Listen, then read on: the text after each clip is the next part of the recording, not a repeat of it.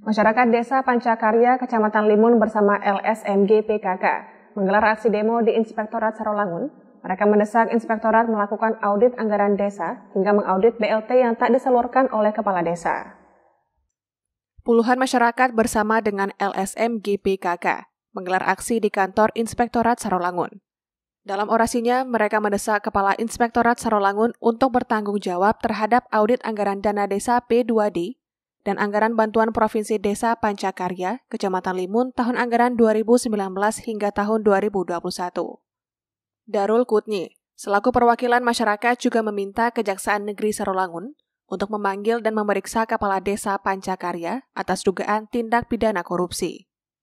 Karena dana BLT tahun 2021 sebanyak satu bulan tidak dibayarkan kepada masyarakat penerima, dan tahun 2022 sebanyak tiga bulan tidak dibayar, dengan jumlah penerima BLT sebanyak 110 orang. 2021 memang tak dibayar ya, selama satu bulan. Kalau yang 2022 itu sudah dibayar setelah sulat kami masuk. Oh, baru dibayar separuh. Kalau pengakuan sekada sendiri memang duit itu terpakai, tapi dia informasinya setelah laporan masuk dia baru ngaku. Baru ngaku. Terpakai kan? Sudah kejaksaan sudah tanggal 10 Januari kita masukkan sudah berkali-kali. Sudah datang menemui PJ pun kita sudah, sudah. Untuk ya kita melalui proses hukum.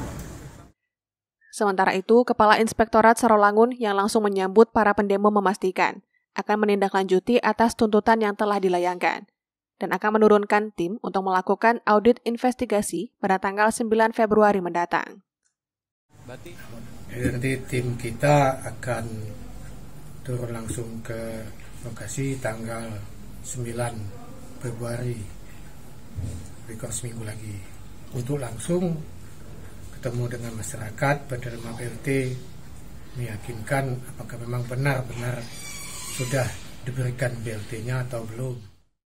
Dari Kabupaten Sarolangun, Rido Habibullah, Baik TV Jambi, melaporkan.